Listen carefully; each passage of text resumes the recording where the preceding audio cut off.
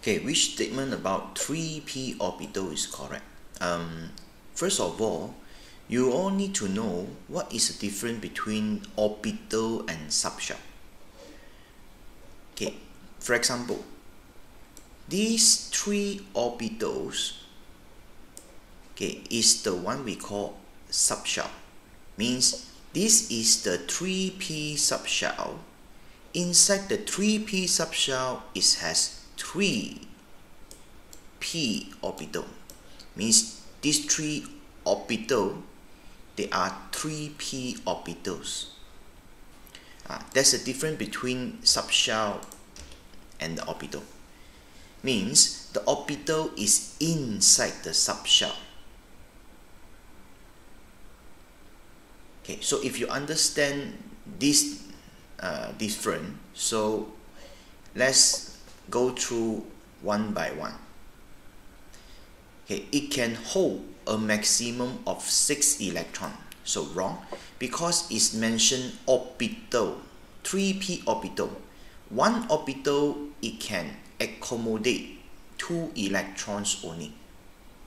So that's why this is wrong. Okay, B, it has highest energy of orbitals with principal quantum number 3. Um, this is not the highest energy uh, uh, of the orbitals. Uh, you have to understand when uh, the n equal to 3, the third shell, it can actually it has 3D.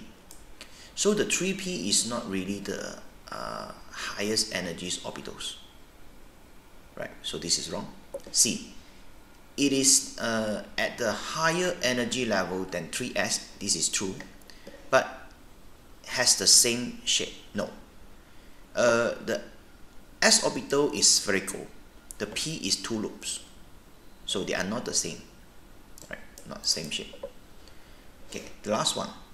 It is occupied by one electron in an isolated phosphorus atom.